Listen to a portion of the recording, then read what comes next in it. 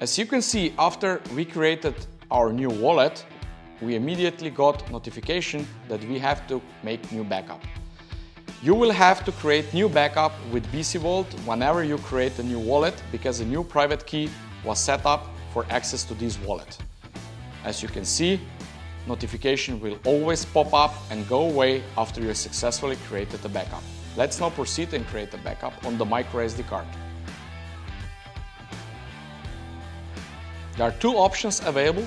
You can either create a backup on the microSD card in the BC Vault so there is a microSD card available already.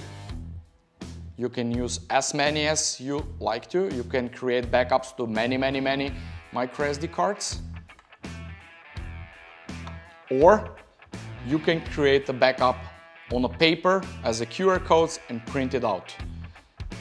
This method is safe even though the QR codes will go to your computer because remember BC Vault backups are still encrypted with the global PIN, the global password and potential wallet PIN and wallet password that you have used. We will now create the backup to the microSD card inserted in the BC Vault. Name your backup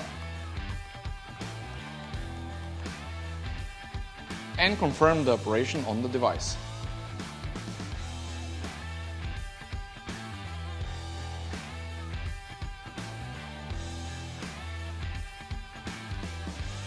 Backup was created successfully and it's now stored on the microSD card in your device. You have an option to take the microSD card out of the device and store it somewhere safely, which we certainly recommend. Don't leave the microSD card in the device itself because in case you lose the device or something happens to your device, your backup should be somewhere else. Again, remember, as we said, you can create same backups to as many microSD cards as you want to. After successful creation of the backup, you can see that the notification went away since your backup was successfully completed. And let's go now back to your created Bitcoin wallet and look at it. As you can see, there is a wallet address, but there are many different formats of the addresses available for certain cryptocurrencies.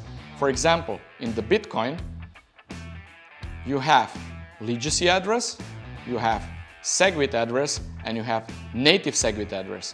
Whatever address you would like to use, just select it and use copy paste, email, print or save it to provide it to a person or a service that needs your address to send you funds. BC Vault will treat all your different addresses as a single wallet.